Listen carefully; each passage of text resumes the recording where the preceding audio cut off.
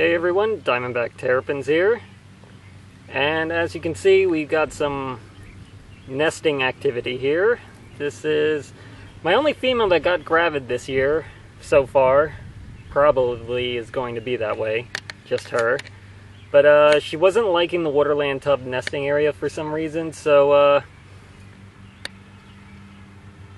I put her down in the garden and she started going at it. She dug a test hole and did not like it because it was really dry over here. So I quick threw, dug a giant hole and then threw sand in it, mixed it with the dirt that's there, put her back down and she went right back at it again and now she's digging a really nice hole so she should definitely lay eggs in this hole she's digging. But uh, who know who knows how long that's going to take? So I'm going to turn off the camera and turn it back on when she actually starts laying the eggs. All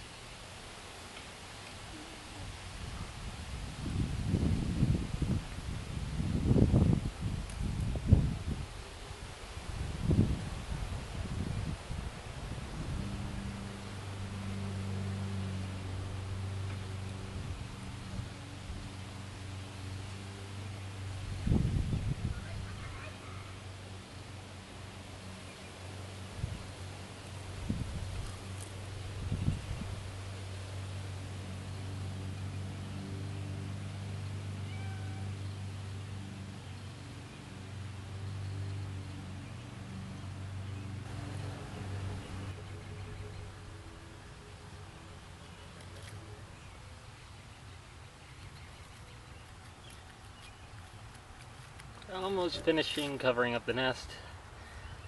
Getting material from around, trying to hide it, pulling it in to the nest so no one will know it was ever there.